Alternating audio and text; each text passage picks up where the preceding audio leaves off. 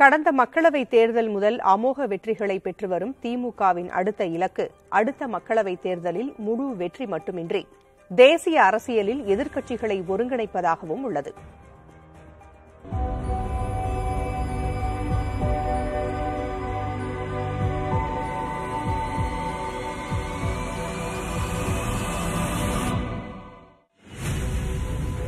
மறைந்த முன்னாள் முதல்வர் கருணாநிதியின் நூற்றாண்டு பிறந்தநாள் கொண்டாட்டத்தை திமுக வருகிற ஜூன் மூன்றாம் தேதி தொடங்குகிறது. அன்றைய தினம் பொதுக்கூட்டம் மாநாடுக்கு ஏற்பாடு செய்யப்படுகிறது.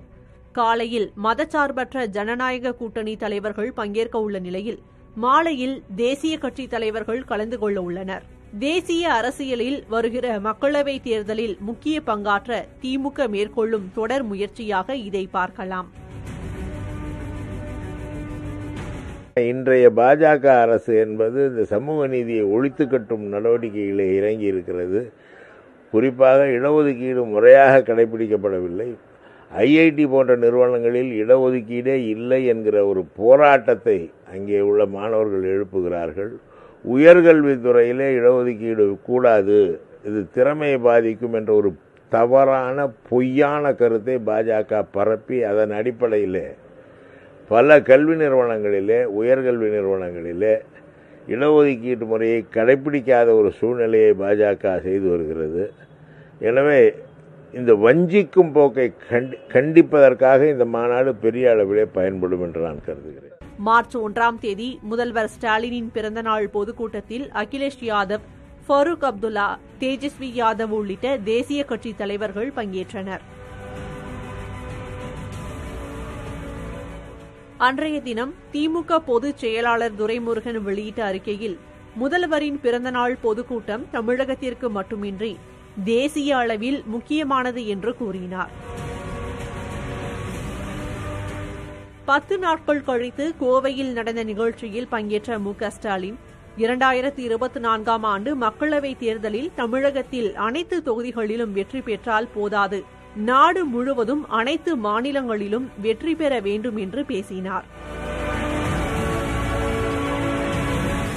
அனைத்து மாநிலங்களிலும் திமுக இல்லாத நிலையில் அந்தந்த மாநில கட்சிகள் வெற்றி பெறுவதை குறிப்பாக பாரதிய ஜனதா கட்சிக்கு எதிர்நிலை கொண்ட கட்சிகள் வெற்றி பெற வேண்டும் என அவர் கூறியதாக கருதலாம்.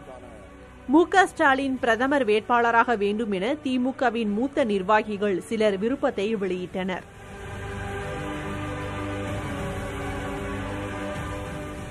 மத்தியில் திமுகவின் பங்கு ஆயிரத்து தொள்ளாயிரத்து அறுபத்து ஒன்பதில் தொடங்கியது. அண்ணா மறைவுக்கு பிறகு ஸ்தாபன காங்கிரஸ் இந்திரா காங்கிரஸ் என காங்கிரஸ் பிளவுபட்டிருந்த வேளையில் இந்திரா காங்கிரசுக்கு திமுக ஆதரவளித்தது. பிறகு ஆயிரத்து தொள்ளாயிரத்து தொன்னூற்று ஒன்பது வரை முப்பது ஆண்டுகள் தேவகவுடா குஜ்ரால் வி பி சிங் என இந்திய பிரதமர்களை தீர்மானிக்கும் சக்தியாக திமுக இருந்தது.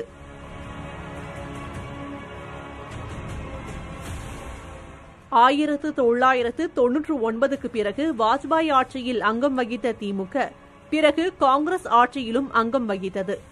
கருணாநிதி காலத்தில் காங்கிரஸ் வலுவாக இருந்தது. தற்போது மாநில கட்சிகள் வலுவாக உள்ளன. காங்கிரசின் செல்வாக்கு சரிந்திருக்கிறது. எனவே மாநில கட்சிகளை ஒருங்கிணைக்கும் மிகப்பெரிய சவால் முதல்வர் ஸ்டாலின் முன் உள்ளது. ஒன்று சமூக நீதிக்கான கூட்டம். அது ஒரு புதிய அமைப்பு. பாரதிய ஜனதா எதிர்ப்பாளர்களின் வரிசைகளை கொண்ட அமைப்பு அந்த அமைப்பில் பங்கெடுப்பதன் மூலமாக அல்லது அந்த அமைப்புக்கான முன்னேற்பாடுகளை கவனிப்பதன் மூலமாக தேசிய அரங்கில் பாரதிய ஜனதாவுக்கு எதிரணியில் தன்னை நிலைநிறுத்திக் கொள்கிறார் மு ஸ்டாலின்.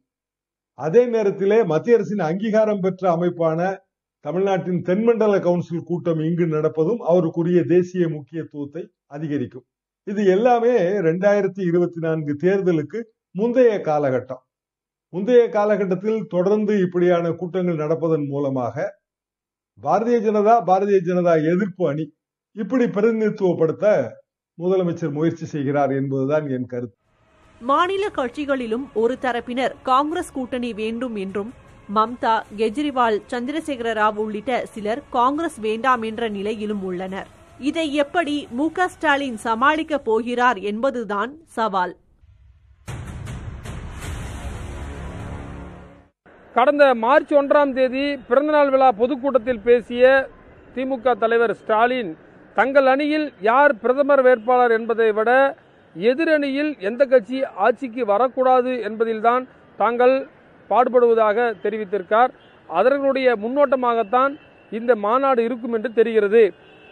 புதிய தலைமுறைக்காக ஒளிப்பதிவாளர் கிருஷ்ணமூர்த்தியுடன் ரமேஷ்.